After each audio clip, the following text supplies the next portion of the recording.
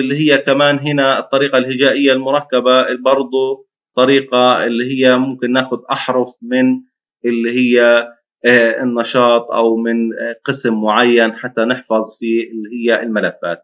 فبحكي لنا هنا أربع نقاط في هذه الطريقة بيتم إنشاء ملفات وهذه الملفات ممكن إحنا نعطيها اللي هو عناوين أو أسماء اللي هي من خلال أحرف هجائية. آه، بتم يعني ممكن أنا مثلا بدي أحط فيها مثلا عدة أسماء هذه الملفات.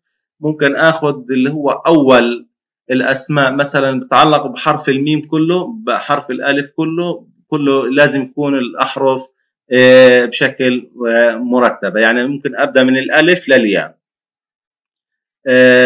هذه اللي هي النقطتين اللي هو بيتحدثوا عن كيفية حفظ هذه الملفات. بالطريقة الهجائية. وممكن إحنا كمان آه، طريق آه، ناخذ اللي هي أحرف ونسمي فيها اللي هي عناوين أو اللي هي الملفات من خلال الأرفف. ممكن هذا الرف بتعلق بكل حرف الميم. هذا الرف بتعلق بكل حرف اللي هو الصاد مثلا. وهكذا من هذه اللي هي الأمور. يعاب على هذه الطريقتين اللي هو صعوبة الترتيب الهجائي بالنسبة للأحرف. لأنهم مختلفة اللي هي بالنسبة اللي هي ممكن يقع في أخطاء في عملية حفظ ترتيب الملفات بشكل اللي هو سليم في حالة السهو والنسيان والخطأ وضع ملف غير ترتيبه سليم مثلا آه، يمكن أحط حرف الميم حرف في حرف الصاد. فهذه يعني اللي هي ممكن تاخذ معنا اللي هو في أخطاء في عملية الترتيب في هذه لا تستمر هذه الملفات لأنه إحنا قلنا محتويات لأنه عدد اللي هي الأحرف لعند 28 حرف زي الأرقام اللي هي إلى ما لا نهاية.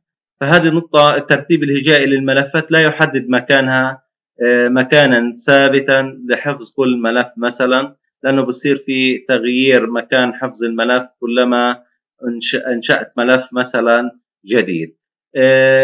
عند الامتلاء أحد الأدراج والأرفف المخصص للملفات حرف الهجائي معين أو نشاط رئيسي معين أو إنشاء ملف جديد يتبع نفس اللي هو الحرف. يعني هذا فبياخذ اللي هو مشاكل كثيرة في عملية استخراج اللي هي الملفات أو وضع ملفات جديدة فاللي هي بنفس الاسم بنفس اللي هو الأحرف الحرف مثلا اللي هو لهذا الدور.